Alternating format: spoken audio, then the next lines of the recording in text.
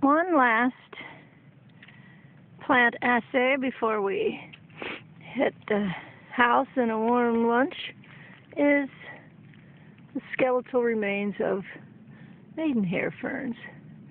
Notice the pinnae, the small little divided sections of the fronds look like old-fashioned hair combs, thus maidenhair.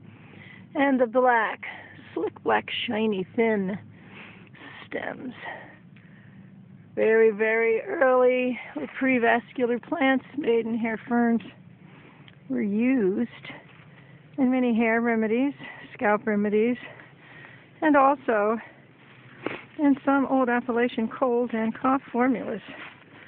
You can look into some of Bill Bass's old formula. There's one of my botanizing kitty cats sitting on my beautiful moss-covered effigy in the woods, and there is some wild grape remains. Another tasty treat in the Appalachian forest. Hey, Skinny, say hi. This is Botany Cat number one. The other black and white one is Littles. They assist me a lot. So get out your backyard and beyond and enjoy the forests, enjoy your herbal heritage, and take advantage of free, wild, and very healthy foods.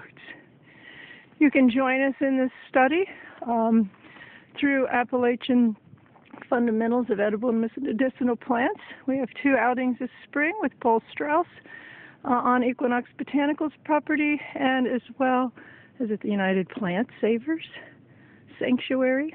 You could also support us by being a supporter of Sanctity of Sanctuary, a beautiful movie about Paul Strauss and his appreciation, love, and willingness to share the green spark. You can look for us on hopewoodholistichealth.com or Becca Herb Travel at yahoo.com.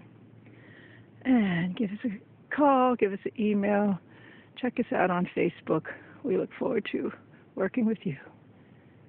Namaste.